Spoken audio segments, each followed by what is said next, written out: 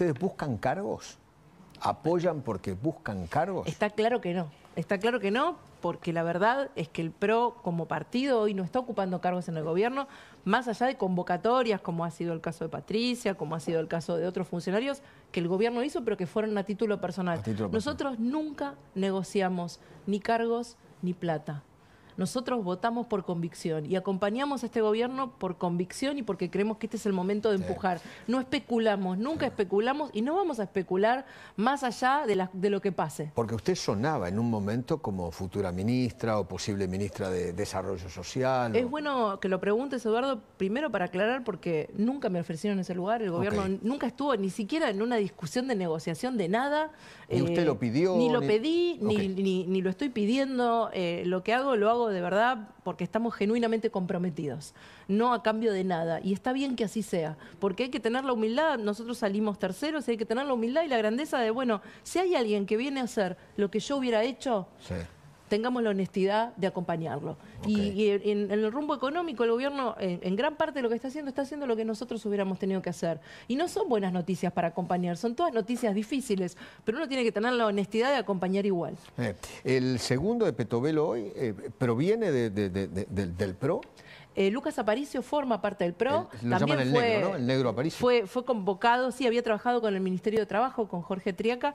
Fue convocado por la ministra Petovelo, pero también ella lo convocó porque tenía buenas referencias de él. No, no es un cargo que el PRO haya No lo pedido. puso ni no, usted, ni Mauricio. Nosotros no, no ponemos gente. El No, no, gobierno no, qué elige. sé yo. eh, la gente elige al gobierno y el gobierno es el que, con todo su derecho, tiene eh, la vocación y la capacidad de elegir a quien quiera, sea del PRO o de otro Sí. partido. A mí lo que me importa es que pongan a los mejores en cada lugar, eh, de acuerdo a lo que ellos consideren. ¿Fusión o coalición con vistas al año que viene? Nosotros no descartamos una coalición con el gobierno electoral. Coalición. Coalición, pero nos parece que eh, lo que se está poniendo en discusión con la fusión no es cambio sí, cambio no. Nosotros acompañamos el cambio y a las pruebas de todo lo que venimos hablando me remito, pero queremos seguir siendo pro. Lo que no queremos es que el pro desaparezca. Gobernamos tres provincias, intendencias, tenemos bloques legislativos en todo el país. Diez gobernadores. Eh, así es, absolutamente. Tenemos experiencia de gobierno, un equipo armado. eh, queremos seguir siendo pro y, por supuesto, también queremos acompañar el cambio. Y me parece que una cosa no está en contra de la otra, digamos. ¿Usted va a ser candidata el año que viene? Ni siquiera lo hablamos todavía dentro del PRO en ninguna discusión. La verdad es que hoy nuestra prioridad es que el programa económico funcione y, y que de verdad los argentinos puedan salir de este ¿Lo momento escuchó hoy a Luis Caputo? Lo Al- escuché esta al mañana que usted le hizo una, una entrevista, lo vi muy confiado en el rumbo, ¿Y, y muy qué le seguro. parece? Va- el- ¿Le parece bien el, rumbo económico del gobierno? Yo creo que sí, no se le puede negar al gobierno el, el primer éxito que ha tenido, que es traernos tranquilidad.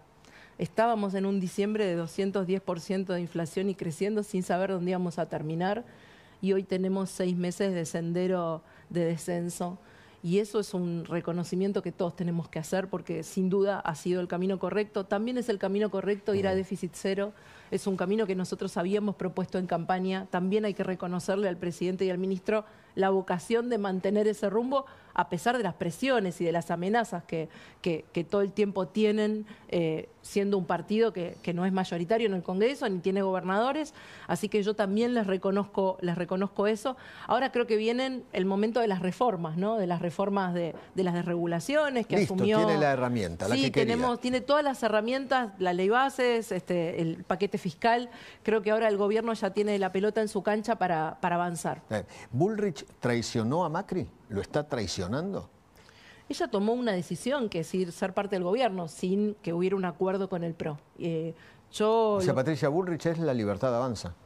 hoy es parte del gobierno de la Libertad Avanza. Ella se sigue definiendo como parte del PRO, ella defiende la idea de una fusión. Eh, yo no estoy de acuerdo con eso, creo que el PRO tiene que seguir siendo PRO y apoyar el, el cambio, que es lo que los argentinos eligieron. Es una manera distinta, un lugar distinto desde donde apoyar. Eh, pero bueno, somos mayoría en el PRO los que creemos eso. De hecho, se votó en una asamblea hace, hace algunos días atrás Sí. y mayoritariamente todos Bueno, lo que considera eh. Patricia Bullrich, hasta donde yo sé, es que a ella, ella se siente traicionada, que no cumplieron con los pactos. Y el pacto era Macri presidente, ella presidente de la Asamblea. Y eso ustedes no lo cumplieron. Primero creo que si de verdad queremos terminar con lo que el presidente llama casta, hay que terminar con estas expresiones de pactos, de acuerdos de cargos. No es el camino.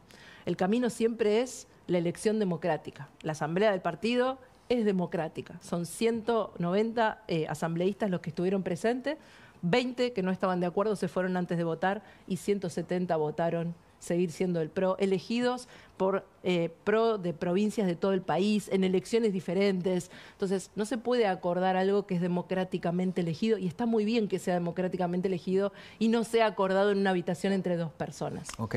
¿Mauricio va a ser candidato el año que viene? Él tendrá que decidir, ¿no? Podría hacerlo, ¿por qué no? Pero, Candidato a senador este, por la Ciudad de Buenos él, Aires. Él, tiene la decisión, este, él siempre fue una persona más de acción, ¿no? del Ejecutivo, pero bueno, eh, a lo mejor siente que es un momento de representar a los porteños. La verdad que, honestamente, no lo hablamos todavía al interior del PLO, no hablamos de ninguna candidatura. Todas nuestras reuniones han estado enfocadas en seguir la situación económica, en ver, recién vengo de reunión del bloque del PRO, todos los proyectos que vamos a presentar, nuestra agenda de proyectos que vamos a presentar en la primera semana de agosto. Eh, estamos trabajando en eso. Eh, el gobierno va a presentar bajar la edad de imputabilidad a 13 años. ¿Está de acuerdo? ¿Lo va a votar a favor? Yo estoy de acuerdo con la baja de edad. Sin duda es una necesidad. Ahora, creo que antes que definir la edad tenemos que definir el régimen. ¿Qué quiero decir con esto? Los, eh, los menores tienen que tener un régimen penal especial, que no es el mismo de los adultos, que tiene que tener pena. ¿Y un lugar Claro que tiene, exacto. No, no se lo puede poner a un menor de 13 años en una cárcel de adultos de 50, claramente. Entonces tiene que tener una cárcel especial, tiene que tener un régimen de penas especiales, pero sin duda tiene que haber sanción frente a la violación de la ley. Me da la sensación que la cosa es más simple, ¿no? Eh, delito de adulto, pena de adulto. Si un menor de 13 años mata, tiene que tener la misma pena que un adulto. No, no, cuando me refería a penas especiales no me, no me refería al monto de, la pena, sino al tratamiento, al tratamiento posterior. Eh, pero sí, creo que hay que discutir. Nosotros tenemos dos proyectos, uno presentado por Cristian Ritondo y otro por Diego Santilli. El de Diego Santilli plantea 15 años, el de Ritondo plantea 14. Yo creo que también hay que convocar especialistas, ¿no? Ver exactamente cuál es la edad. Hay países que tienen 9 años, hay otros que tienen 11, hay otros que tienen 14 o 15 en la región. Nosotros tenemos que definir bien cuál es nuestra problemática y, definir la edad. Los chicos de no son los mismos nenes de 13 de la década del 60, del 70, del 80. Eh, son otra cosa. No, absolutamente. Por eso creo que hay que. A veces son máquinas de matar.